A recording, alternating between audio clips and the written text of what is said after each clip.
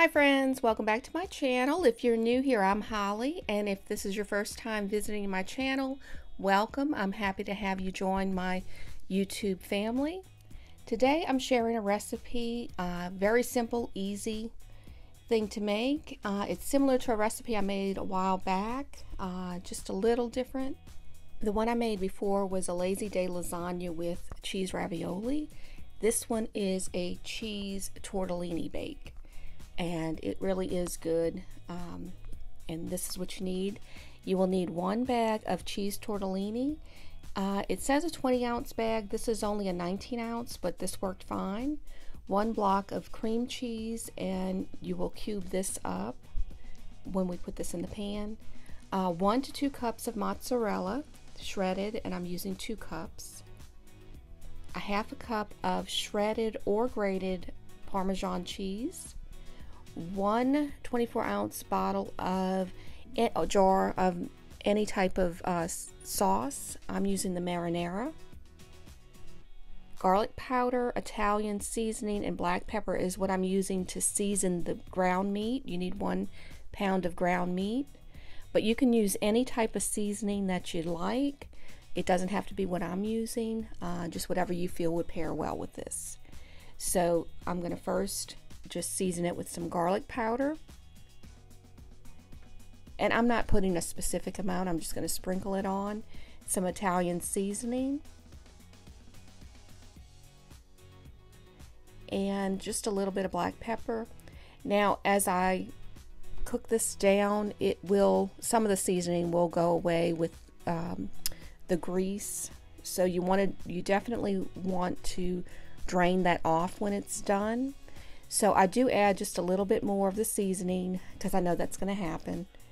Um, and you could also, after you after you drain the grease off, you can always add a little bit more seasoning onto the meat if you'd like. But I felt this worked fine and it was seasoned.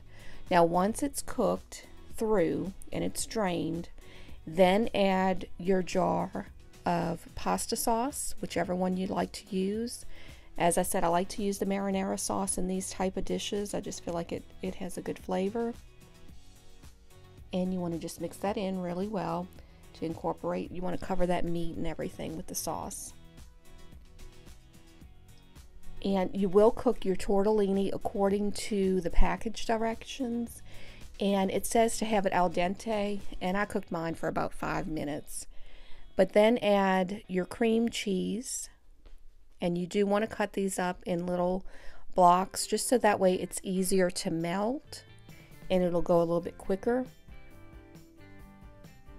So all you will do is just melt that cream cheese into that sauce.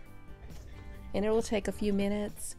And once I have it all melted then I add the cooked tortellini to the sauce and just stir it well just to coat the tortellini with the sauce.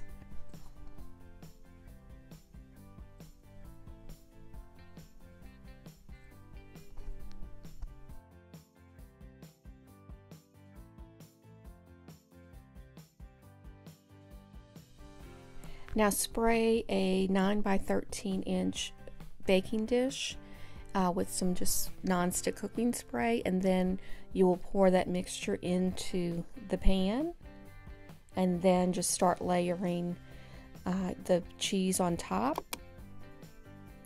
and just spread it out as evenly as you can get it. And you can add more cheese if you'd like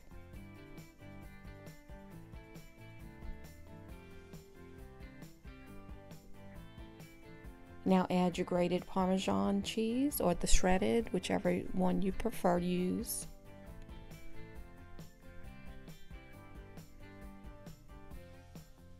And I wipe off the sides of that pan a little bit because of the sauce. I don't want that to burn. Just makes it a little bit easier to clean up. But this is what it looks like when it's done. You cook this on 350 for about 20 minutes or so until that cheese gets brown. And then just plate it and we had it with some broccoli and some garlic knots, uh, garlic bread. And it really was delicious.